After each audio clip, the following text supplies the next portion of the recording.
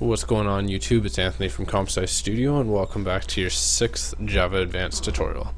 So um, today we're just going to be polishing off enums and we're not going to be looking at them again in our advanced series. Um, we might get to them again when we are using, when we're making games and stuff. We might be implementing some type of power system like this, but um, that's for a later tutorial.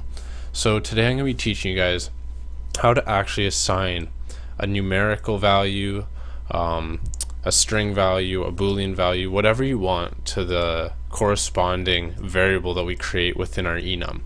So in this case we would want strong to indicate um, a bigger number than moderate, which is a bigger number than weak. So for strong, let's say we give it a value of 3. So to assign values, we're going to be getting an error just for a little bit, but I'll clear that up after. So just bear with me, you guys are going to get errors.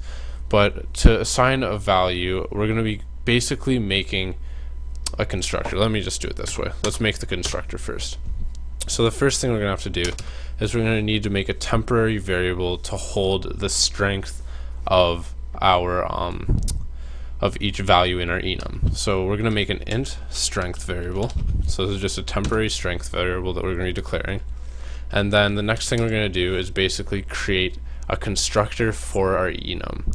Now I know this is all kind of confusing, but in the end, um, it's going to make sense. And when you create an enum, this is basically the stencil that you you will use for every single enum you create. So the first thing we're going to do is we're going to um, basically create a way to assign values to each um, variable within our enum.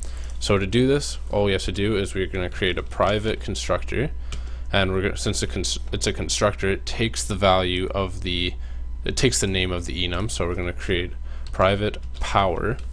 And since we're assigning it a integer value we're going to use in our parameters int i and then we're going to put down our curly braces.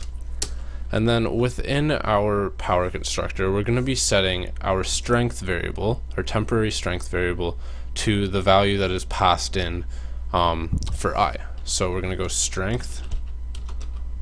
Oh man I can't type strength is equal to I. I still can't spell it. Let's just copy and paste that and everything will be good. Alright, so now that we have this, we're actually allowed to put brackets beside here. We could put in a value of 3. We can put in a value here of 2 and a value of 1. So we could put in whatever value we want since we basically prototyped each variable within our enum um, to accept a parameter of an integer. So now we need a way to actually um, access the value of each variable within the enum in our main method. I know that's kind of confusing, but once we finish it all, it'll all make sense. So let's create another method, and this is going to be a getter method to basically get the actual value that we put in here. So we would get the value of 3, 2, or 1. So to do this, we would just go public, since we want to be able to access it from anywhere within our code um, and we're gonna make it a return type of int since we're gonna be getting an actual integer value. And we'll name it um, get power. And put down our curly braces.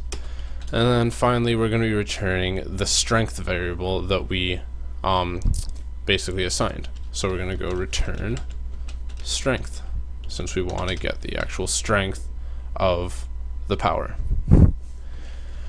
Alright, so now if we run this, we should get nothing. Just run it, make sure.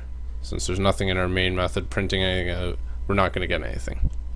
So say we wanted, like right over here, we've already assigned player 1 to a value of weak.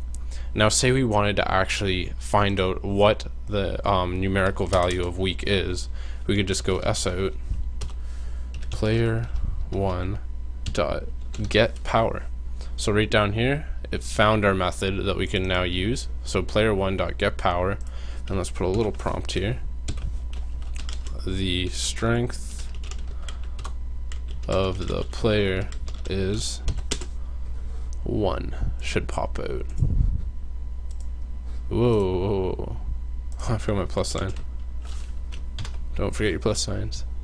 So run it again. Hopefully we don't get an error. And the strength of the player is 1.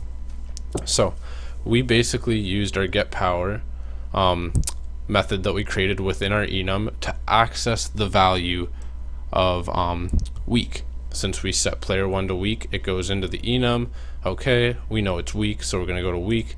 Oh, guess what? Weak has a value of one. Um, so yeah, that's pretty much it for this tutorial. If you guys have any questions, feel free to message me. Um, send me an email, send me an inbox, whatever you guys want. Um, if you guys have any questions, send me an email. So um, yeah, thanks for watching and comment, rate, and subscribe, and I'll see you guys in the next tutorial.